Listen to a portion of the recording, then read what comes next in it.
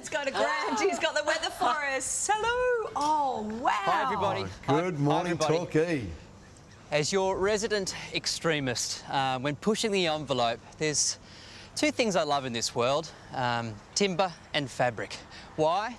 Because that's what we're in today. yes. Good morning, old boy. High above. This was the day that was rained glorious out. State of Victoria on 35 stinking degrees. We're going to be up in a beautiful craft that is a stunning 80 years old and blaze above everything. From the mighty sky, blasting a hot temperature.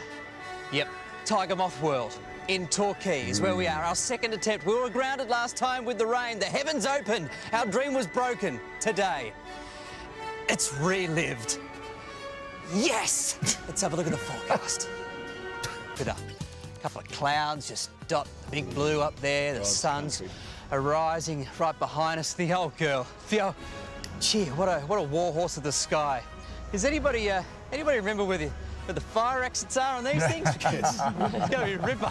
Just the one exit. Count the seats on the road.